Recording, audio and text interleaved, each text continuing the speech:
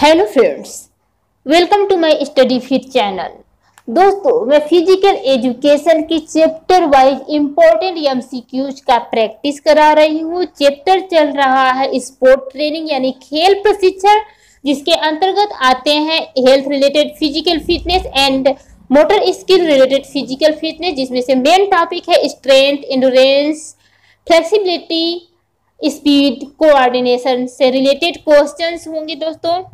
And दोस्तों, यदि आप फ़िज़िकल एजुकेशन के किसी भी कॉम्पिटेटिव एग्ज़ाम चाहे कोई भी स्टेट का हो TGT PGT C L T Rajasthan PTI DSS भी इन सभी के सिलेबस के अकॉर्डिंग मेरे चैनल पे सभी वीडियोज़ हैं। जो भी, जो दोस्तों बिल्कुल फ्री है, कोई भी उसमें आपको पैसा नहीं देना है। एंड दोस्तों हंड्रेड से ज़्यादा videos previous year MCQs question पर बनाया गया है और डेली बेसिस पे चैप्टर वाइज एमसीक्यूज का प्रैक्टिस भी कराया जा रहा है। तो बने रहिए दोस्तों बेहतरीन तैयारी के लिए मेरे चैनल पे। एंड दोस्तों चलिए चलते हैं आज के प्रश्नों की तरफ़। दोस्तों क्वेश्चन है कि शारीरिक फिटनेस व्यक्ति को अवयव क्षमता से संबंध है, जिसमें हम अपने रोज़ाना के सामान्य कार्य बिना थके या थकान के साथ संपन्न करते हैं और अचानक आने वाली किसी आपात स्थिति से निपटने के लिए पर्याप्त बल और ऊर्जा सुरक्षित रखते हैं। यह किसने कहा है दोस्तों? यह फ़िज़िकल फिटनेस की परिभाषा है। इस परिभाषा को दिया है निक्सन ने। किसने दिया है? निक्सन ने। यानी इनके कहने का तात्पर्य है दोस्तों फ़िज़िकल फिटनेस वही है जो रोज के कार्य को बिना थकान के अनुभव करे, ठीक है? या थकान के साथ संपन्न करने, करे। और अचानक से आने वाली जो भी विपत्तियाँ होती हैं, आपात स्थिति से निपटने के लिए भी पर्याप्त ऊर्जा उसके पास सुरक्षित रहे। वही होता है आपका फ़िज़िकल फिटनेस इस बात को कहे हैं निक्सन ने। नेक्स्ट क्वेश्चन है कि फ़िज़िकल फिटनेस को कितने भागों में विभाजित किया जा सकता है? तो दोस्तों फ़िज़िकल फिटनेस को दो भागों में विभाजित किया गया है। एंड दोस्तों नेक्स्ट क्वेश्चन है फ़िज़िकल फिटनेस को कौन से दो भागों में वर्गीकृत किया गया है दोस्तों? तो इसको health related physical fitness and motor skill related fitness दो भागों में विभाजित किया गया है। नेक्स्ट क्वेश्चन है दोस्तों कि हेल्थ रिलेटेड फ़िज़िकल फिटनेस के कौन कौन से अवयव हैं? तो दोस्तों हेल्थ रिलेटेड फ़िज़िकल फिटनेस के अंतर्गत ऑप्शन है cardio respiratory endurance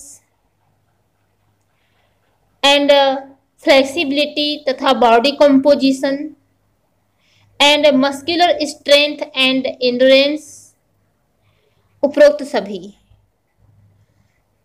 तो दोस्तों, ये उपरोक्त सभी हैं जो हेल्थ रिलेटेड फ़िज़िकल फिटनेस से रिलेटेड हैं।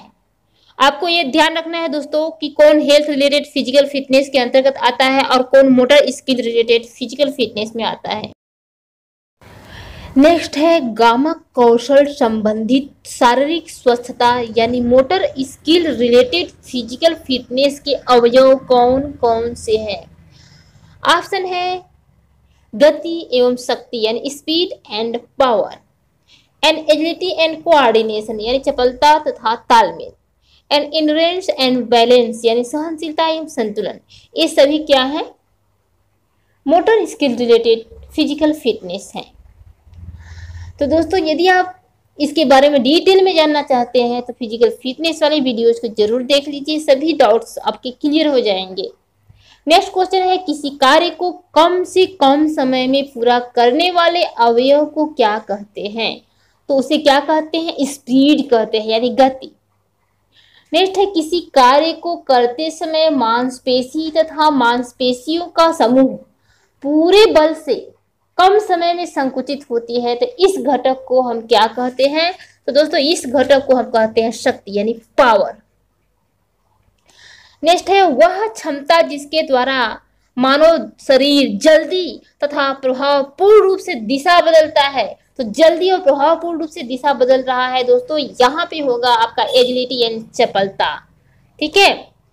नेक्स्ट है वह क्षमता जो मानव शरीर के साम्यावस्था को स्थिर तथा चलायमान स्थिति में बनाए रखता है। तो दोस्तों, हमारे बॉडी को स्थिति का डायनेमिक रूप में बनाए रखता है। वो होता है हमारा संतुलन, यानी कि बैलेंस नेक्स्ट क्वेश्चन है कि मांसपेशी तथा मांसपेशियों की वह क्षमता जिसमें किसी कार्य को थकान की अवस्था में लंबे समय तक किया जाता है।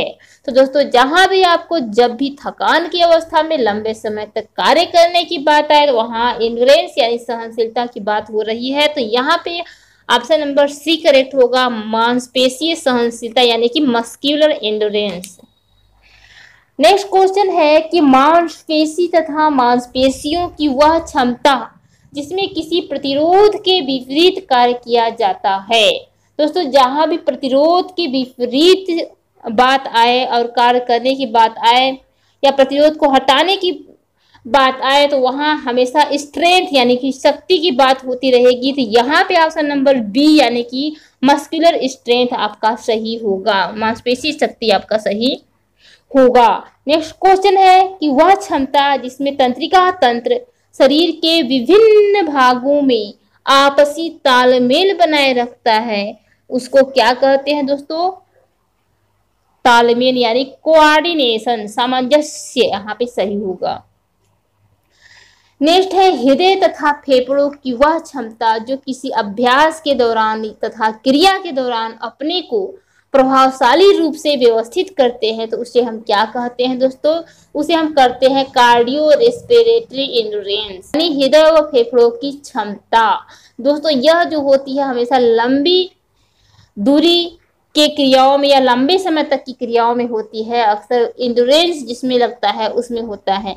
नेक्स्ट दोस्तों, वह क्षमता जिसमें व्यक्ति लंबे समय तक थकान की स्थिति में किसी कार्य को करता है, दोस्तों तो क्या कहलाता है? एंडोरेंस यानी सहनशीलता कहलाता है।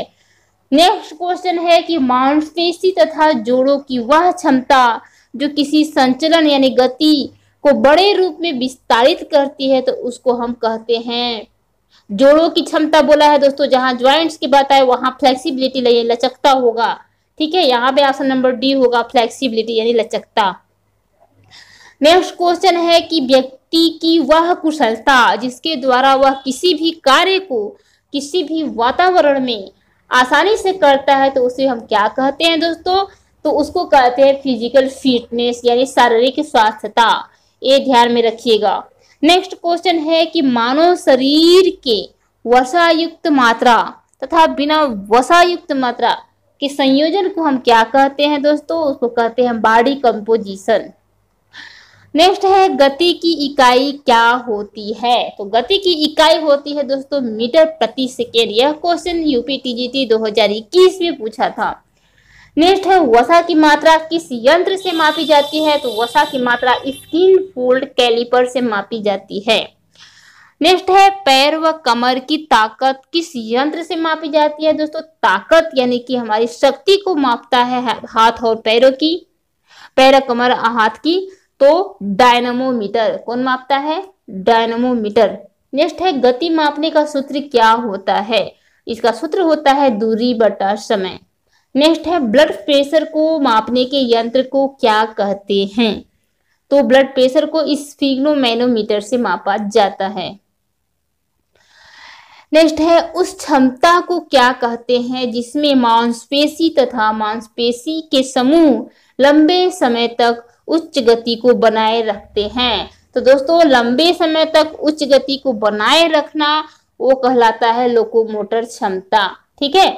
गति वाले वीडियो में मैं इसको डिटेल में बताई हूँ सब कुछ दोस्तों, उसको देख लीजिएगा। नेक्स्ट क्वेश्चन है कि एरोबिक क्षमता शारीरिक स्वस्थता के कौन से घटक में प्रयुक्त होती है। तो एरोबिक यानी कि ऑक्सीजन के साथ क्रिया। एरोबिक मतलब ऑक्सीजन के साथ क्रिया। यानी लंबे समय तक की क्रिया और जिसमें सहनशीलता ज़्यादा हो, यहाँ पे होगा सहनशीलता। ठीक है एरोबिक क्षमता, शारीरिक स्वास्थ्य के कौन से घटक में प्रयुक्त प्रयुक्त होते हैं दोस्तों? तो सहनशीलता में प्रयुक्त होते हैं। ठीक है एंड यहाँ गति में स्ट्रेंथ में पावर में, इन सभी में एनएरोबिक क्षमता आपका प्रयोग होगा। ये भी ध्यान रखिएगा। जितना कम समय की क्रिया होगा, उसमें अनएरोबिक क्षमता का भी विकास होता है। नेक्स्ट क्वेश्चन है कि लंबी दूरी की दौड़ों के लिए एक खिलाड़ी में कौन सी क्षमता मुख्य रूप से होनी चाहिए? दोस्तों, लंबी दूरी की दौड़ कहाँ है? यहाँ पे सहनशीलता यानी कि इंडोरेंस आपका मुख्य रूप से उसमें क्षमता होना चाहिए। नेक्स्ट क्वेश्चन है कि एक सौ मीटर के धावक में, एक सौ मीटर के धावक में निम्न घटकों में से किस घटक का मुख्य रूप से होना आवश्यक है।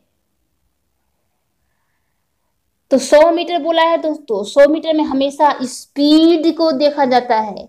तो यहाँ पे स्पीड यानी गति आपका सही होगा। ठीक है? एंड दोस्तों, नेक्स्ट क्वेश्चन है कि एक जिम्नास्टिक के खिलाड़ी में निम्न घटकों में से किस घटक का मुख्य रूप से होना आवश्यक है? तो जिम्नास्टिक के खिलाड़ी में दोस्तों, हमेशा आपकी फ्लेक्सिबिलिटी यानी कि लचीलापन देखा जाता है। तो यहाँ पे आपका फ्लेक्सिबिलिटी यानी लचीला लचकता आपका करेक्ट होगा।